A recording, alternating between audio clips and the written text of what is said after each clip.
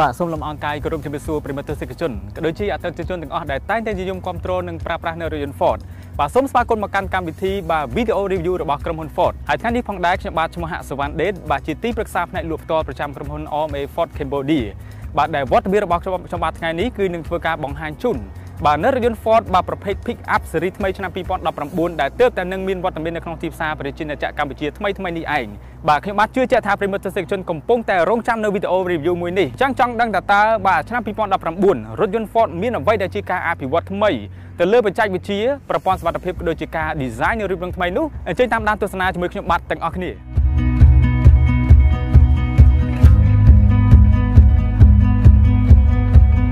វ៉ាវប្រិមិត្តទស្សនិកជនបាទនេះហើយគឺជារថយន្ត Ford Ranger ស៊េរីថ្មីឆ្នាំ2019ដែលក្រុមហ៊ុន OMA Cambodia បាននាំចូលបាននៅកម្លាំងម៉ាស៊ីន3.2 5ស៊ីឡាំងផ្ដល់ជូនបាននៅកម្លាំងធម្មពលកម្លាំងសេះបានរហូតដល់ទៅ200ក៏ដូចជាកម្លាំងបាទជំរុញបានរហូតដល់ទៅ470ញូតនម៉ែត្រដែលកម្លាំងប៉ុណ្នេះគឺខ្លាំងគ្រប់គ្រាន់សម្រាប់បាទស្ថានភាពផ្លូវនៃប្រជាជនកម្ពុជា បាទអ្វីដែលខ្ញុំបានស្រឡាញ់ពេញចិត្តនោះគឺទៅការ design បាទផ្នែកខាងមុខបណ្ណាផ្នែកខាងមុខត្រូវបាន design ថ្មីទាំងស្រុងតែម្ដងផ្ដល់ជូននូវភាពតាក់ទាញក៏ដូចជាអំណាចខ្លាំងមែនទែនបាទប្រិមត្តជាទីគោរពបាទស៊េរីឆ្នាំ2019វាបានបំពាក់ជាមួយនឹងអំពូល HID បាទដែលជាប្រភេទអំពូលគុជស៊េរីថ្មីមានភាពបាទភ្លឺច្បាស់ដាច់ល្អមែនទែនបាទរួមជាមួយនឹងបាទអំពូល Daytime Running Light LED វ៉ាន់ខាងក្រោមរថយន្តនេះផ្ដល់ជូននូវស្ថានភាពក៏ដូចជាសម្រស់ភាពស្រស់ស្អាតនៃការបើកបរនៅពេលថ្ងៃ បាទប្រិមត្តទស្សនិកជនសូម្បីតែអំពូលបាទពិលកាងផ្នែកខាងក្រោមនេះក៏យើងបំពាក់ជាមួយនឹងអំពូល LED ដែរហើយយើងឃើញថាការ design ថ្មីនៅលើពិលកាងខាងក្រោមនេះគឺឆ្លោះលេចស្អាតមែនទែនបាទមិនត្រឹមតែមានភាពស្រស់ស្អាតទេអំពូល HID ស៊េរីថ្មីរបស់យើងក៏មានភាពឆ្លាតវៃបាទអាចធ្វើការបិទបើកទម្លាក់ pha code ដោយស្វ័យប្រវត្តិសម្រាប់ស៊េរីឆ្នាំ2019អាចធ្វើការបាទទម្លាក់ក៏ដូចជាតម្លើង បាទនៅកម្រិតពន្លឺបានបានន័យថាយើងអាចទម្លាក់បាន4ម៉ែត្រទៅខាងមុខ ក៏ដូចជាអាចដំឡើងបាទ4ម៉ែត្រទៅខាងមុខវិញផងដែរអញ្ចឹងស្ថានភាពនៃការបើកបរណាមួយបាទពន្លឺនៃការបើកបរណាមួយប្រិមិត្តទស្សនិកជនអាចធ្វើការសេរីបានសម្រាប់រថយន្តស៊េរីថ្មីរបស់យើងបាទឥឡូវនេះចូលដល់បាទលក្ខណៈពិសេសផ្នែកខាងក្រោយនៃរថយន្តវិញម្ដងបាទយើងឃើញថាការ design ផ្នែកខាងក្រោយមានភាពស្រស់ស្អាតទាក់ទាញមែនទែនបាទតែមក៏ថ្មី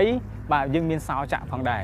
បាទអ្វីដែលជាបាទចំណុចពិសេសផ្នែកខាងក្រោយនោះបាទរថយន្តបាទស៊េរីមុនមុនយើងឃើញថាក្លុបខាងក្រោយនោះមានទម្ងន់ធ្ងន់ យើងពិបាកក្នុងការលើកឡើងណាស់បាទប៉ុន្តែរថយន្តសម្រាប់បាទស៊េរីថ្មី2019គឺយើងបានបំពាក់ជាមួយនឹងរសរផ្នែកខាងក្នុងហើយក៏ដូចជាការកាត់បន្ថយបាននៅទម្ងន់ផ្នែកខាងក្រោយអញ្ចឹងដោយគ្រាន់តែការប្រើប្រាស់នៅតែដៃតែមួយខាងទេខ្ញុំអាចបាទទម្លាក់បាទក៏ដូចជាលើកឡើង បាទនៅក្លុបខាងក្រោយនេះបានយ៉ាងងាយស្រួលអញ្ចឹងសម្រាប់បងបងនារីនារីក៏ដូចជាបងបងបរិបរោះក៏មានភាពងាយស្រួលក្នុងការដាក់នៅអីវ៉ាន់ផ្នែកខាងក្រោយរបស់គាត់ ប្រិមត្តទីគោរពនិងជាទីមេត្រីឥឡូវនេះបាទចូលដល់បាទនៅការបង្ហាញជូននៅលក្ខណៈពិសេសផ្នែកខាងចំហៀងនៃរថយន្តវិញម្ដងបាទខ្ញុំបាទធ្លាប់បានទទួលសំណួរថាតើឆ្នាំណាទើបរថយន្ត Ford Ranger ទើបបានបំពាក់ជាមួយនឹងប្រព័ន្ធ Smart Key ឥឡូវនេះឆ្នាំ2019មានហើយប្រិមិត្តទស្សនិកជនគឺយើងបានបំពាក់ជាមួយនឹងប្រព័ន្ធសោឆ្លាតវៃហើយការ design នៅបាទសោរបស់យើងក៏មានភាពស្រស់ស្អាតទាក់ទាញថែមទៀតផង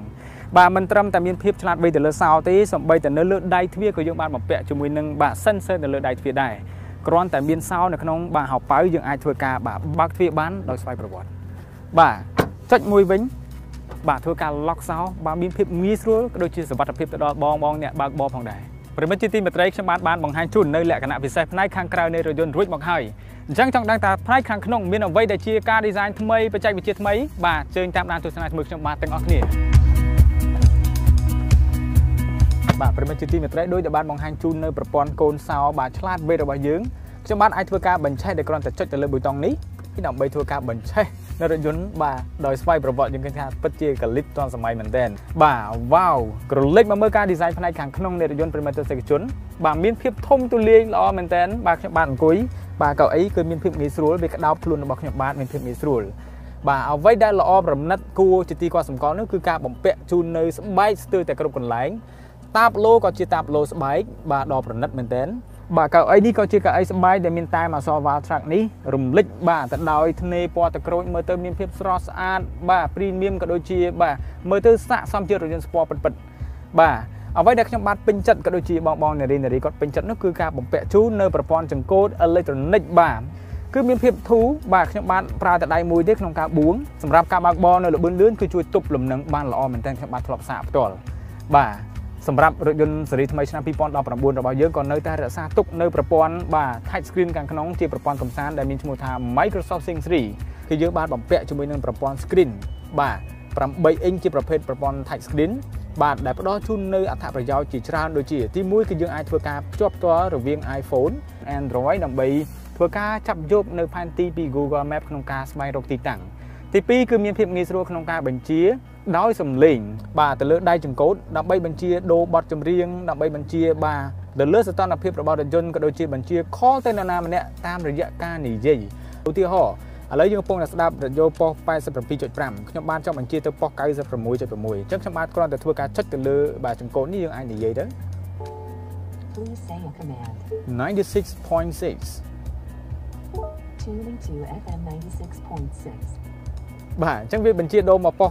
96.6តាមអ្វីដែលខ្ញុំបានបញ្ជាផ្ដល់ផងដែរផ្នែកខាងក្រៅនៃរថយន្តក៏មានភាពធំទូលាយបាទកន្លែងដាក់ជើងបាទគឺថាល្មមសមរម្យសម្រាប់ខ្ញុំបាទសេរីថ្មីឆ្នាំ2019របស់យើងក៏មានបំពាក់បាទនៅទម្រដាក់ដៃនេះអូបាទងាយស្រួលមែនតើបាទក៏ដូចជាកន្លែងបាទដាក់ភេសជ្ជៈបាន2កន្លែងផងដែរបាទលើពីនេះទៅទៀតក៏យើងបានបំពាក់ជាមួយនឹងបាទប្រព័ន្ធ គេហៅថា power socket គឺជាកន្លែងសម្រាប់សាកថ្មបាទគឺបានបំពាក់ជាមួយនឹងដូចក្បាល3ផ្ទាល់តែម្ដងអាចសាកបាននៅកុំព្យូទ័រយួរដៃក៏ដូចជាទូរស័ព្ទបានផ្ទាល់ផងដែរអញ្ចឹងកាន់តែមានភាពងាយស្រួលផាសុកភាពក៏ដូចជាបាទទំនើបផងដែរបាទប្រិមិត្តជាទីមេត្រីបាទសេរីឆ្នាំ2019បានបំពាក់ជាមួយនឹងបច្ចេកវិទ្យា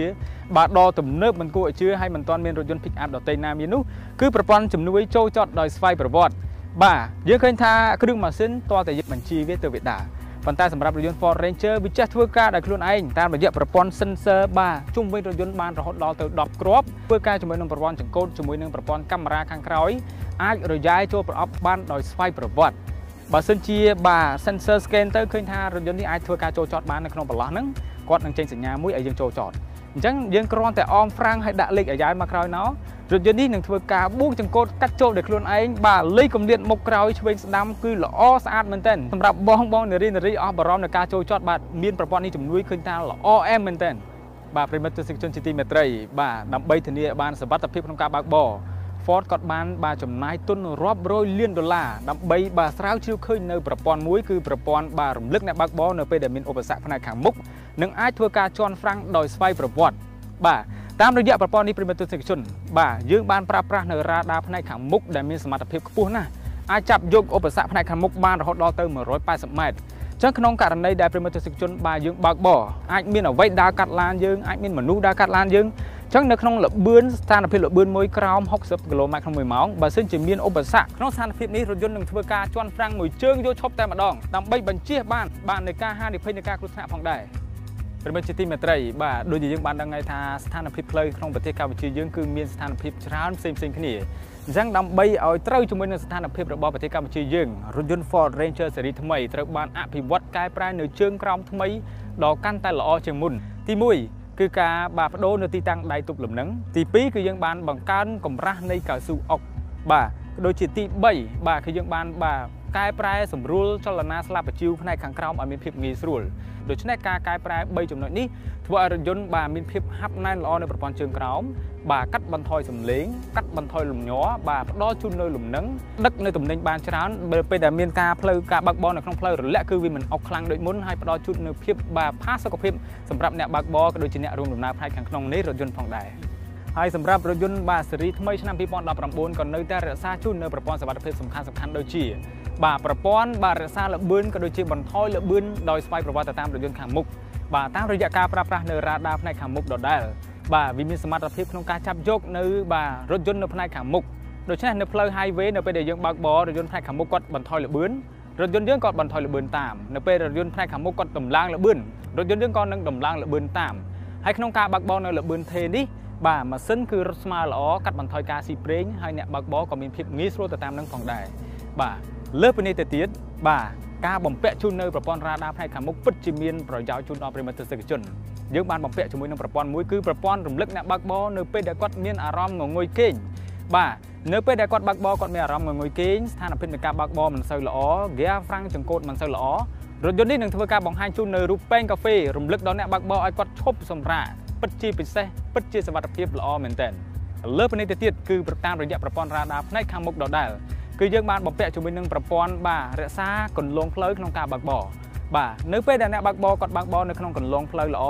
បាទ good ប៉ុន្តែនៅពេលដែលអ្នកបើកបរគាត់បើកបរកិនគំនូផ្លូវរថយន្តនេះនឹងធ្វើការញាក់ចង្កូតដើម្បីដាស់អ្នកបើកបរឲ្យគាត់ដឹងថាអូយើងបើកបរកិនគំនូផ្លូវហើយបាទបើកបរឲ្យត្រង់ឡើងវិញប៉ុន្តែនៅក្នុងស្ថានភាពមួយដែលអ្នកបើកបរគាត់នៅតែកិនគំនូផ្លូវនៅតែចេញពីគំនូផ្លូវ រថយន្តនេះនឹងធ្វើការទាញចង្កូតចូលក្នុងគន្លងផ្លូវវិញដោយស្វ័យប្រវត្តិផ្ដល់ជូននៅចំណុចសុវត្ថិភាពមួយដ៏ល្អបំផុតជូនដល់ប្រិមត្តទស្សនិកជន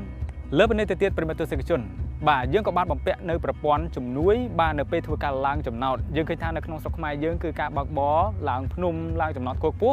មិនមែនជាបញ្ហាឡើយព្រោះក្នុងស្ថានភាពនេះបាទក្នុងរយៈពេលបាទ3វិនាទីប្រព័ន្ធហ្វ្រាំងរបស់រថយន្តនឹងធ្វើការចាប់ហ្វ្រាំងដោយស្វ័យប្រវត្តិបាទបានន័យថាក្នុងស្ថានភាពនៃការឡើងចំណោត គឺមិនរអិលថយក្រោយពីព្រោះរថយន្តយើងទូទៅបើសិនជាយើងឡើងចំណោតខ្ពស់យើងអត់ចន់ហ្វ្រាំងរថយន្តនេះនឹងរអិលថយក្រោយប៉ះរថយន្តខាងក្រោយប៉ុន្តែសម្រាប់ Ranger 3វិនាទីមិនរអិលថយក្រោយឡើយមិនអកសើថយក្រោយឡើយបាទក៏ដូចជាមានបំពាក់ជាមួយនឹងប្រព័ន្ធជំនួយនៅពេលចោះចំណោតបាទប្រព័ន្ធនេះបាទនឹងធ្វើការចាប់ហ្វ្រាំងដោយស្វ័យប្រវត្តិបាទបានន័យថាប្រិមិត្តទស្សនិកជនគ្រាន់តែបាទមូលបាទកាពីតាសមកកាន់ 4x4 low គឺប្រព័ន្ធកាពីតាសកង់4 ចឹងរថយន្តនេះនឹងធ្វើការចោះចំណតបន្តិចបន្តិចបន្តិចបាទបន្ថយល្បឿនក៏ដូចជាជន់ហ្វ្រាំងដោយស្វ័យប្រវត្តិដោយយើងមិនបាច់ចាំជន់ហ្វ្រាំងជាប់ឲ្យឈាមហ្វ្រាំងនោះទេបាទអញ្ចឹងប្រព័ន្ធទាំងអស់នេះគឺស័ក្តិសមណាស់សម្រាប់ផ្លូវនៅក្នុងស្ថានភាពនៃប្រទេសកម្ពុជាយើងផ្ទាល់ផងដែរ